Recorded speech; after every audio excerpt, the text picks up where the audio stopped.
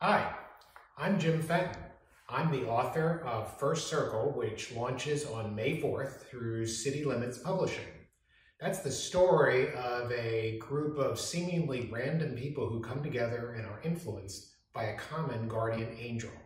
But before we get to that story, City Limits has asked that I take a shelfie and share a little bit about what's on my bookshelves. So come on into my home office.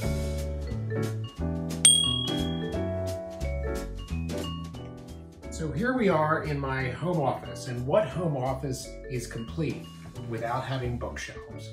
And my bookshelves, I've tried to organize them a bit. So if you look to my right, your left, it's mostly books that are on business uh, and a little bit on scriptural inspiration.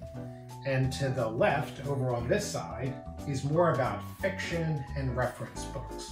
So we're going to talk a little bit about some of the favorites that come out of those bookshelves. Let's start with over here. If we look toward the top, there are a couple of books that generally inspire me, whether it's in business, in life, or in my writing. And they're books like In Search of Excellence, or A Passion for Excellence, or From Good to Great. But you know, I found over time that my interest in business and storytelling came together. And so more recently, some of the books that I have been particularly fond of and have really resonated with me have been things like Switch. Switch is a book by the Heath brothers. It's all about change management. And it uses an analogy of a rider, an elephant, and a path to talk a little bit about change management and how to break through barriers that come up. What's another book that's sort of in a similar space? Well, that might be one like All Hands on Deck. All Hands on Deck is by Joe Tye, and it again uses an analogy of taking a ship through a storm. And how do you do that? Well, you need to have everybody all hands on deck so that they, in fact, regardless of title or job or responsibilities, that they all help navigate the storm. It's building a culture of ownership. Another book that I like, or an author that I like, is Patrick Lencioni. And Patrick deals with many books, but one of the favorites there is Five Dysfunctions of a Team. And it's how do you move a team from just average performance to great? How do you make them a high performance team? And he uses the, the approach of a parable.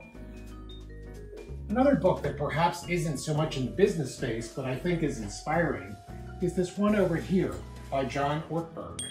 And John Ortberg writes the book, If You Want to Walk on Water, You've Got to Get Out of the Boat.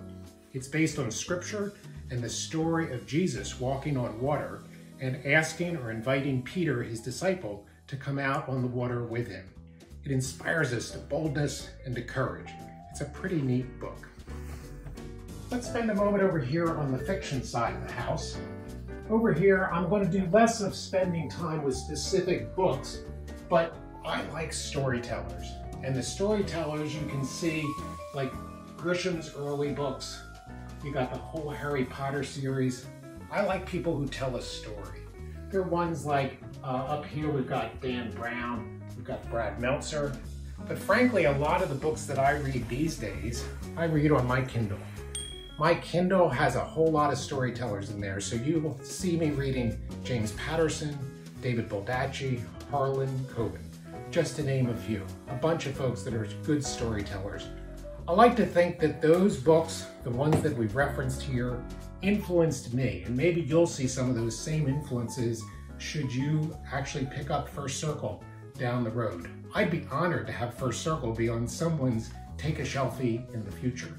But you'll have to wait because First Circle doesn't launch until May 4th. See you soon, and that's a wrap.